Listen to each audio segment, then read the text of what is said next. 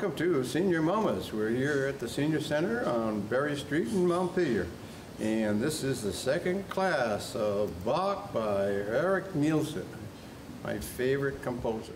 Johann Sebastian Bach's early career, he bounced around a lot.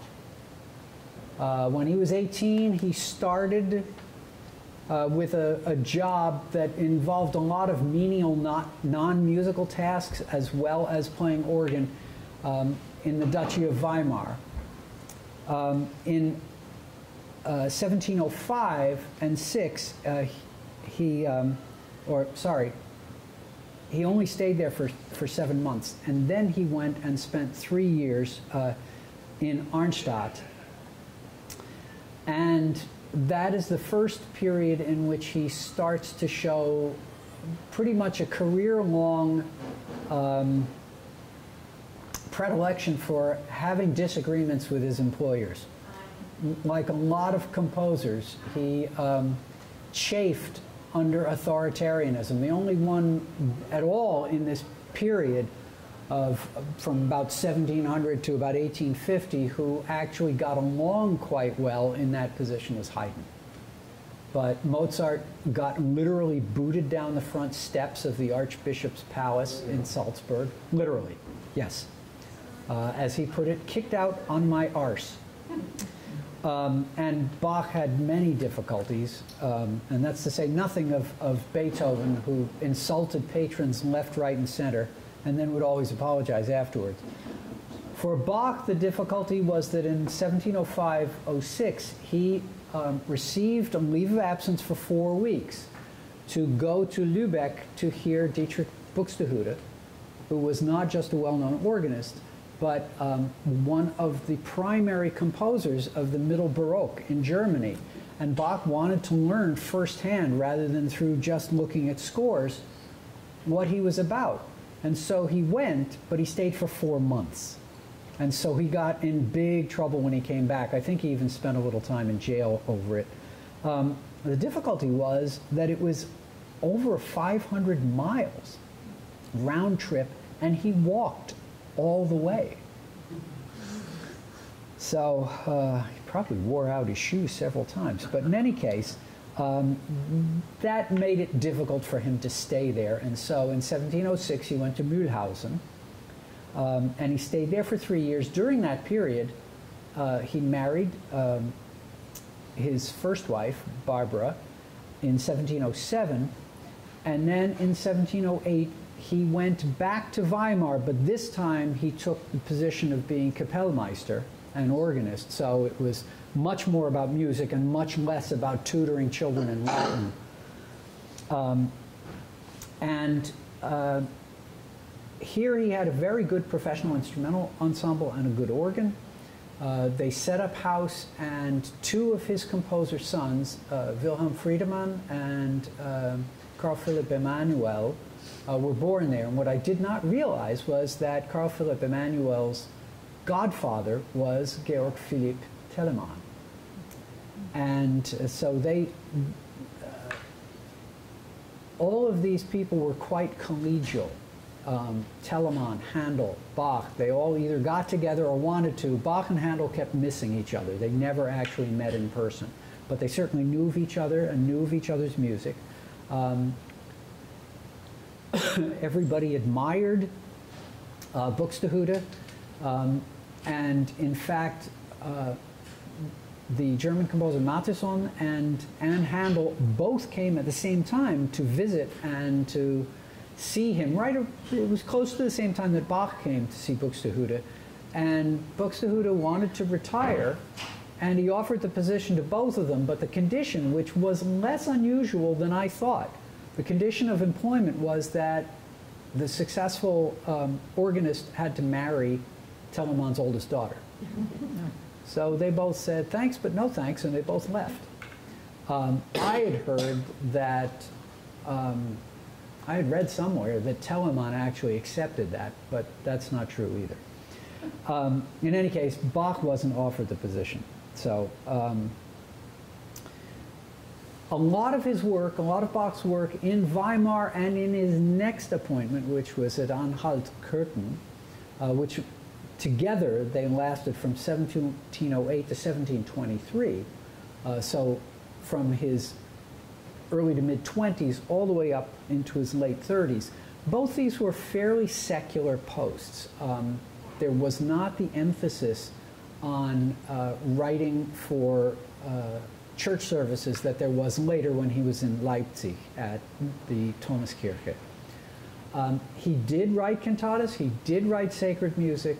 A lot of his um, spiritual leanings went into his organ music, where he composed a great number of chorale preludes and other works. But this is the period in which he does a lot of work on um, instrumental music. So this is the period in which he wrote his Brandenburg Concerti, his orchestral suites, a lot of his sonatas for uh, solo instruments, duets, trios, um, as well as and keyboard music, solo keyboard music, meaning harpsichord or clavichord, as opposed to organ music, which he also wrote uh, in, in great profusion. It's not that he didn't write uh, cantatas and other sacred music during this time, and in fact, we'll listen to a cantata in a few minutes, but a lot of his emphasis was on instrumental music. So in his first year in Weimar, 1708, he produced a tremendous amount of music, and included in that was uh, two different uh, violin uh, sonatas for violin and keyboard, and we're going to hear the one in um, in E minor right now. And this is done on period instruments. So this is a Baroque violin that you're going to see, uh, and and uh, harpsichord. So Uh, here is uh, Jennifer Roig Francoli and Vivian Montgomery playing Bach's uh, sonata in E minor.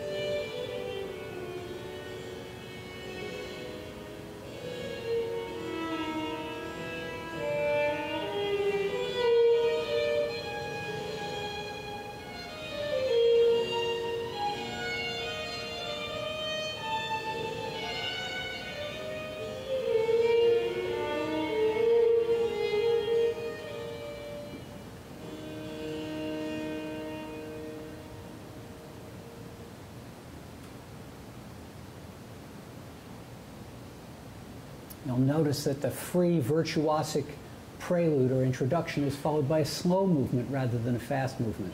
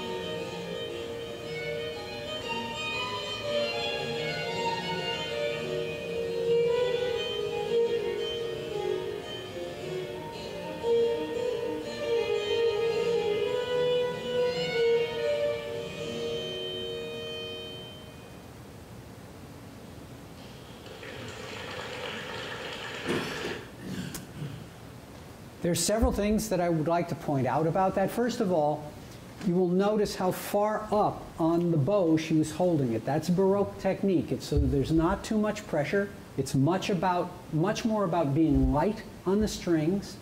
You'll also notice there was almost no vibrato on long notes at the ends of phrases. It's a very straight tone. At least that is the received wisdom these days and has been for about the last 20 or 30 years that it's a much lighter sound and that in this case I think there's been a lot of research done reading contemporary texts about technique and how you were supposed to express the music. You also have to realize that there are no dynamic marks written and that's because music was very local. So if Bach wanted somebody to play more loudly, he would say, okay, when we get to this place, play more loudly. So, and he would often be the person accompanying on the keyboard, although he was also a skilled violinist. Another thing to note is that pieces like this, sonatas like this, or partitas, or any of the other multi-movement forms of this era, going back to the late Renaissance and forward into about 1740 or 1750, are very different from the sonatas and multi-movement pieces that came afterwards. There's no sonata allegro form, there's no rondo form, there's no AABA, there are none of the forms that Haydn and his contemporaries invented and that went on for another 150 years. Instead, what you have are collections of shorter movements based on dance forms for the most part. So that last movement was a gigue, or in English, a jig. Six, eight, yada da da da da dum ba da da yada da da. Another thing you'll notice is that the melodies are constructed of small rhythmic groupings that are then repeated in what's called a sequence, where you have yada da da da da da da da da da da dee dee dee dee dee you know, and where that's how the melody is constructed. And whole movements are made out of that, as you could hear. So it's a very different format um, from what we are used to listening to Mozart and Haydn and Beethoven and Brahms and Schumann and Mendelssohn and Chopin and all those other composers from the mid 18th century right through to the 20th and into the 20th century because there were composers like Vaughan Williams and Shostakovich and a number of others who used these forms still in the 20th century and some used them in the 21st. But before that period, during Bach's lifetime and before that, you had free sorts of movements like toccatas or canzonas, which are pretty free form. You get to improvise and then write it down. And others that are based on the rhythm of folk music, that is 6-8 for gigue or something else, but not necessarily on the melodies, although a lot of times they were based on hit dance tunes. La Folia, which was written in the 1400s, was a popular tune to make variations out of from then right through the 18th century. It just never lost its popularity. Not two weeks on the top 40 and then off. So this is the sort of thing that we can get used to. Yes, Nan? I, I was wondering if the balance between the two instruments was what you expected, because I heard so much, I heard hardly any of the keyboard. Part of that was the miking. This is not a very well mic'd performance. You can hear all the echo in there, and uh, it wasn't as loud as I would have liked, but I had the volume on maximum. This is a, a this looks like a single manual harpsichord. If you wanted more volume, you would get a bigger harpsichord with two manuals, that is two keyboards, and do a lot with the coupler whereas you would play on one keyboard, but they would both be operating. It's the same thing that you get on an organ, and that boosts the volume. But these are little tiny strings, and they're and they're plucked, and there's nothing you can do about the volume. So. Um, so it wasn't supposed to be. It was. It was supposed to be very strong. It was written. The understanding, the understanding was that the keyboard was going to give what it gave, and the violin would do its best to balance, but the violin was the prominent instrument. You have to understand also that a sonata like this could be accompanied by some other instrument as well. You could have a cello or a viola da gamba or something like that playing the bass line in single notes and the keyboard filling out the chords. Because all Bach or his contemporaries would write for this would be a bass line with little numbers underneath, and the player would be expected to know how to harmonize based on those numbers. It was a skill that they had. So a lot of the music of this period was, what did you have available? Did you have a bassoonist? Well, he could play the bass line, and then you'd get somebody to play harpsichord, and that would give more volume to the accompaniment. Do you want to repeat the name of that band? Gigue, G-I-G-U-E, oh, Okay. Jigu, or jig in English, J-I-G. Yeah, okay. Bernice. You said it was a period instrument. Is the violin different? Is that violin different from today's violin? A little bit. And some are more different still. There are some earlier violins that, for instance, have a flatter bridge so that they can play multi-note, uh, you know, uh, what are called multi-stops, like a double stop or a triple stop, and hold the notes instead of having to roll over them because today's string instruments have a rounded bridge. So unlike a guitar, you can't hold more than two notes without letting go of one. Some of the Baroque violins have a flatter bridge, so you can do more with it. Um, we are going to hear a violin concerto, the famous double violin concerto, the D minor, at the end of the class, and in that, the two instruments are actually period instruments, but they're more modern violins. They are Stradivarius, both of them. So it's quite interesting. Sacred music. We can't go very far with Bach without getting back to it. He took many, many, many old chorale tunes. It was his stock and trade, it was his uh, home language, if you will. And one of them that he said in a number of different ways at a number of different times is an old Lutheran chorale tune for Christmas called Nun komm der Heiden Heiland. Now come, thou, thou uh, wonderful Savior. And the tune itself goes like so.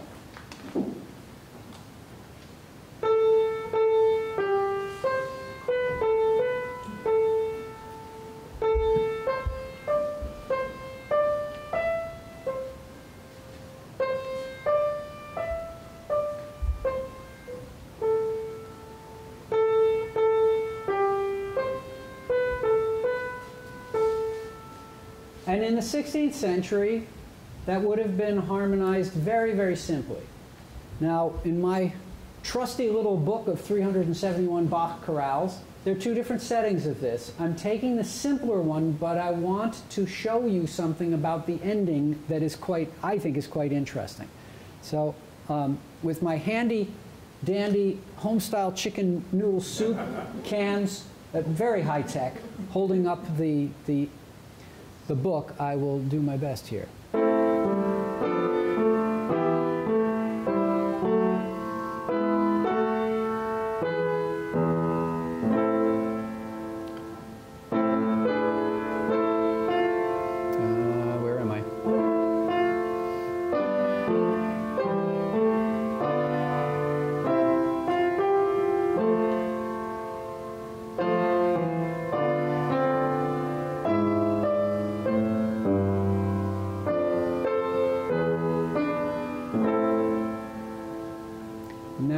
I get to the last phrase, I'll play you a, quite a simple harmonization, and then I'll play you Bach's harmonization to show you the difference.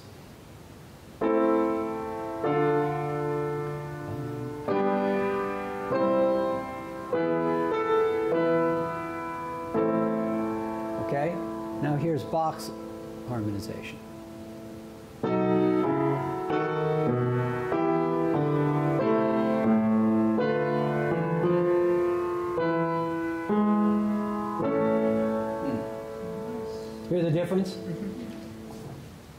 Bach took these tunes, he would ornament the tune, but basically he made it so it was very recognizable.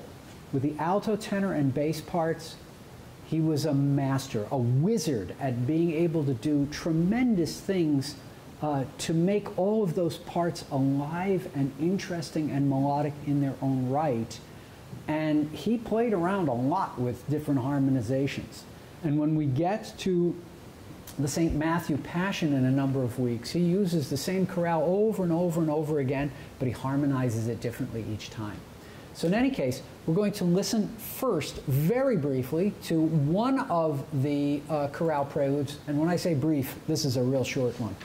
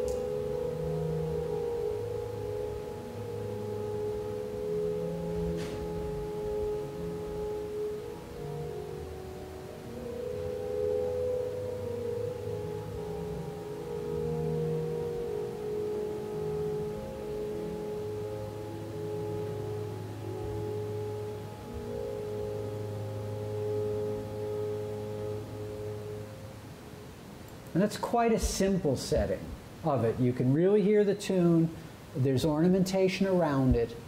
And now we'll hear a cantata BWV 61 based on this in basically the same format as the cantata that we heard last week. That is, there's a chorus at first that sort of sets it out in ornamented fashion.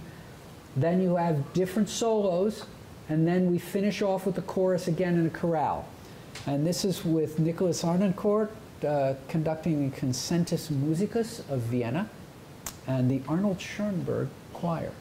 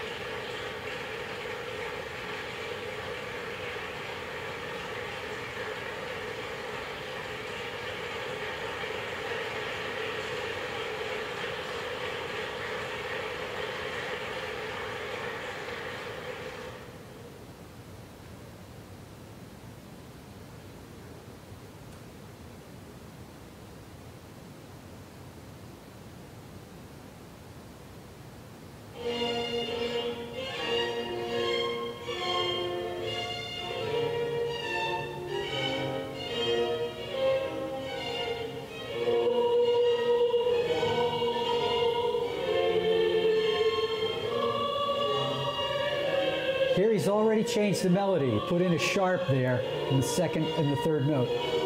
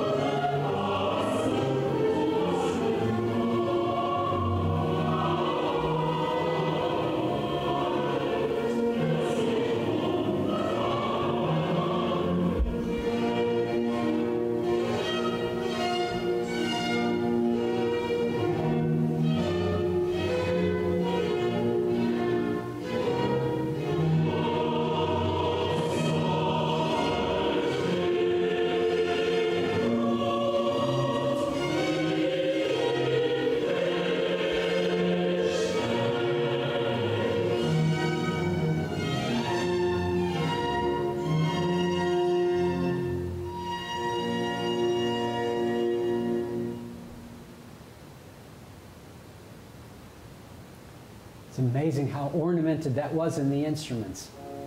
Der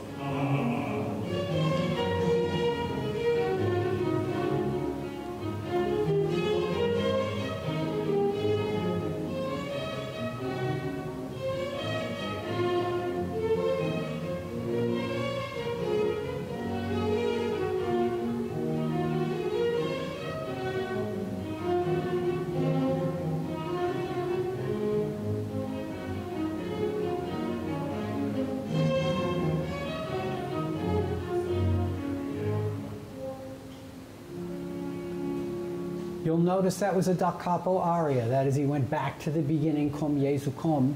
And you'll notice also how familiar it is in the poem.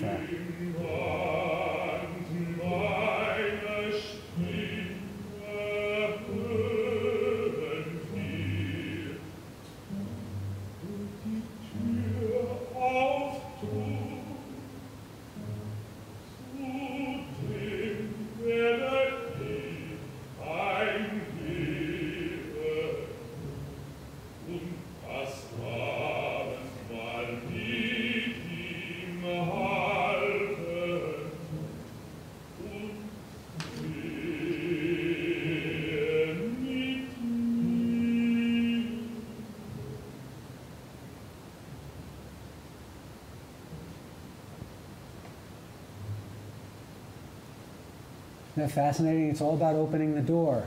And the strings, they're knocking.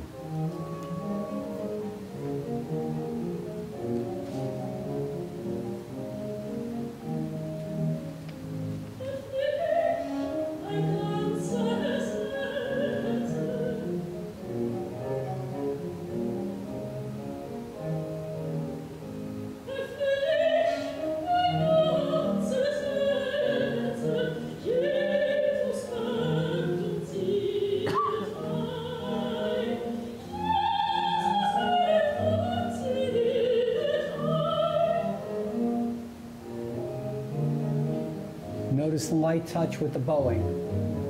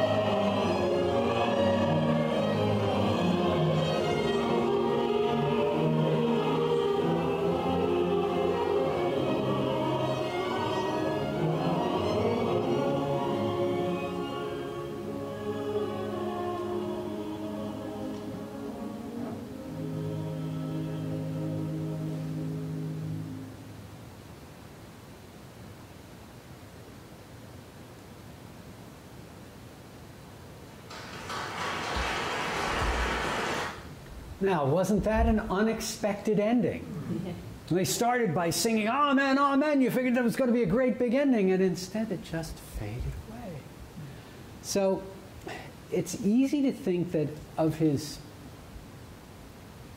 200 or so sacred cantatas that they would be sort of stamped out. You know, he had to write one a week when he was in, in, in Leipzig. But in fact, he invests them within the generalized form that he uses with all sorts of individuality based on his interpretation of the text, whether the text was by Luther or one of his contemporaries, as in this case, or one of Bach's contemporaries. And you can tell by this text um, how the early Lutherans, at least, viewed Jesus as somebody with whom they could be familiar. So it's not kommen Sie, it's komm Jesu komm. That is the familiar. Du, not sie. Second person singular, which is, you have to be on good terms in Germany or Austria to be able to use the du form. And in the tenor solo, that's what you're hearing. Come, Jesus, come into your church. And so it's this joyous invitation, and Bach certainly sets it that way. So, and then the next um, recitative of the bass about knocking, hearing the knock and wanting to, and opening the door, and you hear the strings plucking away. And that's some word painting. You're really setting that in such a way that you can hear the knocking. And, and then it's often hard to tell in Bach's sacred works. There are two forms of, of du that are used one in talking to God, and the other in talking to your own heart. du mein Herz you, my heart, be open to this. So I, I, think it's a wonderful example. And the, the final chorale is not one that would have been sung at least easily by the congregation because it's an amen. And so there's almost no trace of the original chorale tune in it. So it would not be something that on Sunday they would get up and say, oh, yeah, we can just sing through this.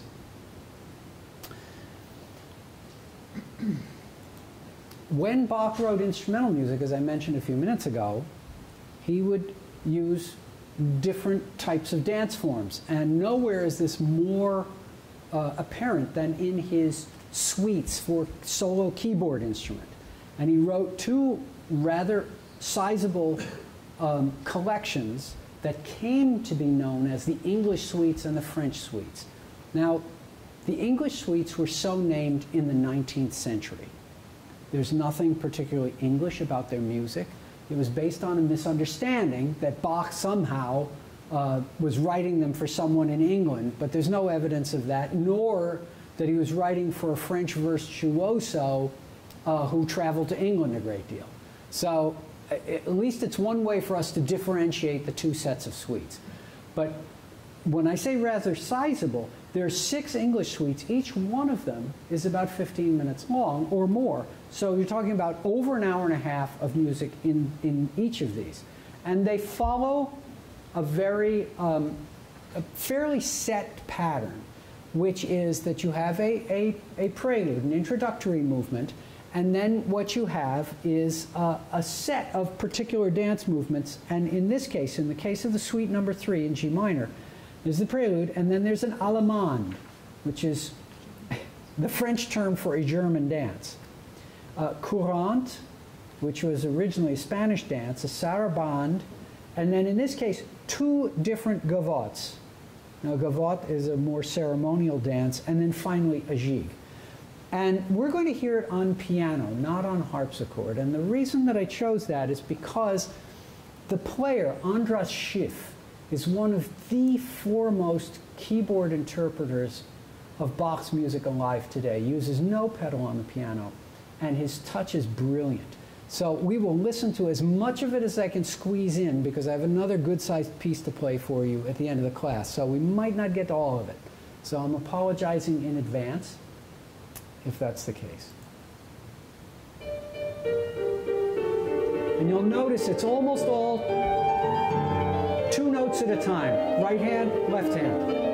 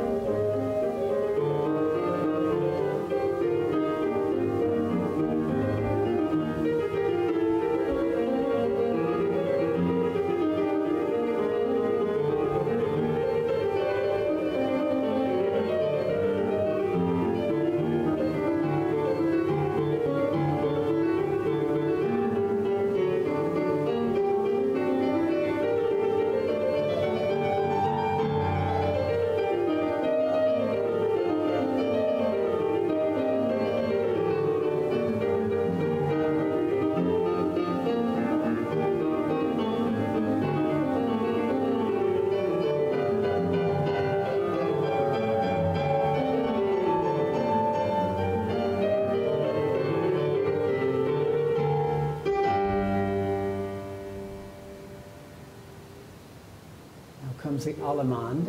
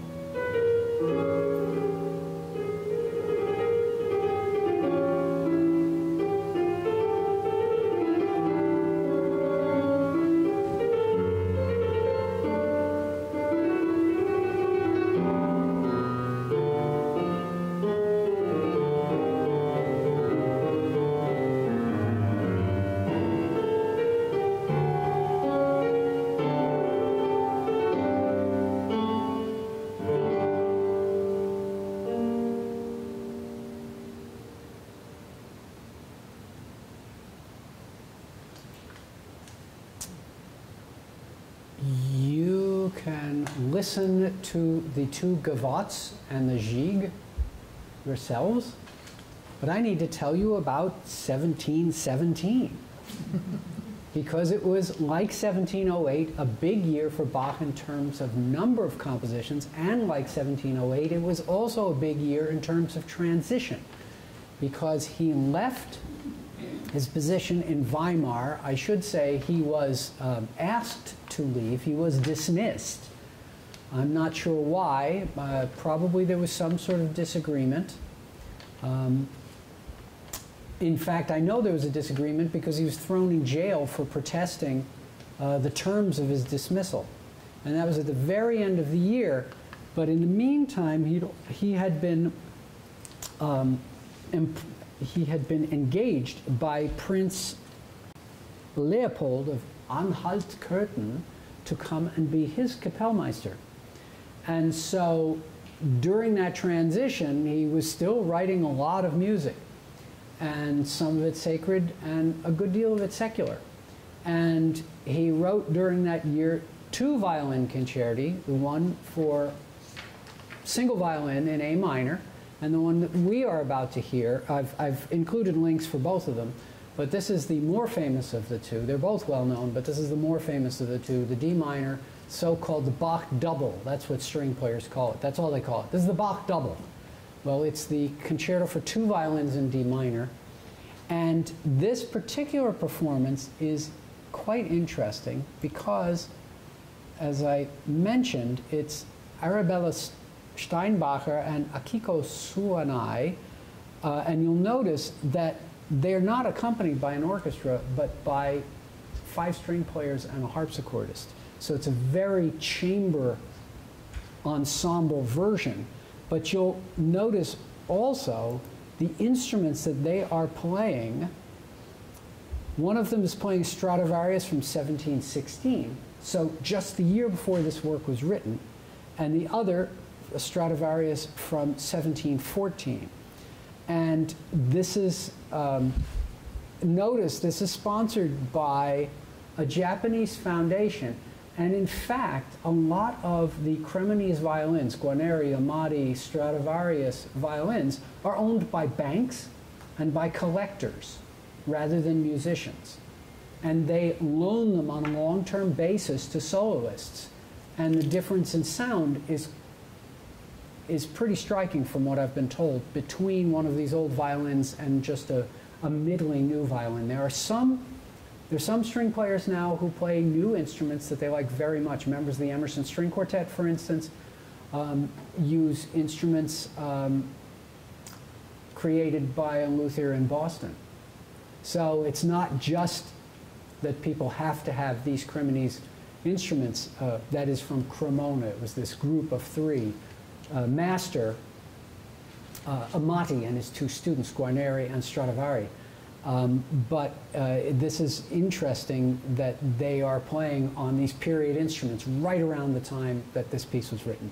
So in any case, here it is, the uh, Concerto for Two Violins in D minor.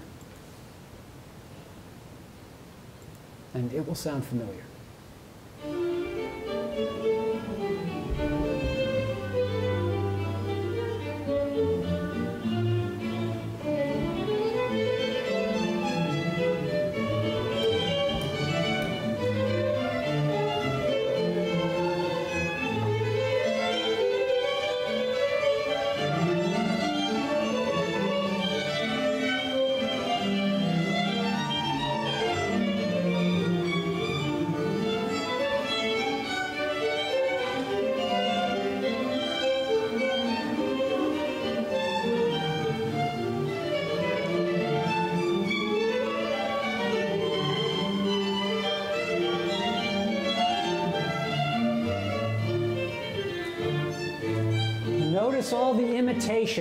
That happens in this.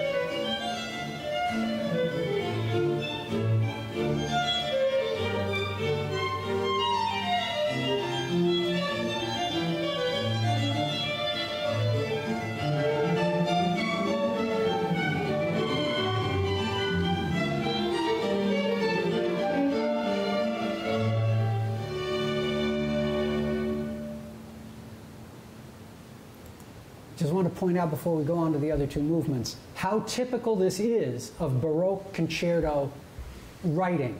That is, there's a main melody, and it will go oftentimes between the soloists. In this case, there are three choices because it can go back and forth between the two soloists, but also the ensemble will often pick up the melody and take it. So you could hear it, particularly in the lower instruments later in the movement.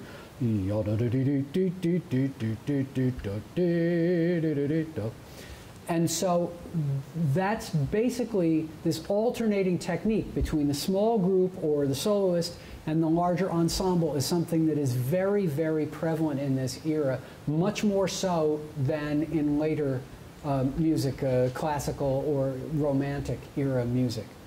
Okay, second movement is after a vivace, very lively, is a largo ma non troppo, slow but not too much. And then that's followed by an allegro final movement.